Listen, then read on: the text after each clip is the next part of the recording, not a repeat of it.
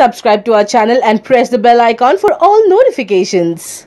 Indian hitman Rohit Sharma, the vice captain of India One-Day International Team's vice captain and his wife Rikita Sachdeva was recently blessed with a baby girl. And now in such happy times, his old photo with the hot model Sofia Hayat has become viral and it's trending in social media. Sofia Hayat put up a video explaining her relationship with Rohit Sharma. She said that when she was in a pub celebrating her movie release, she was introduced by a friend to Rohit Sharma who took her separately, kissed her and danced but she ended her relationship with him as he said he was only a fan of him. Miss Miscreants of Twitter also now trending her old tweets with one tweet on Sofia ended her relationship and another screenshot and few more vulgar ones and Sofia has told people not to be below these tweets and said they are photoshopped.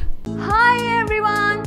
Did you download YoYo TV app? No? Then go and download from your Play Store where you will get news and entertainment masala. So go, hurry up and download it YoYo TV app.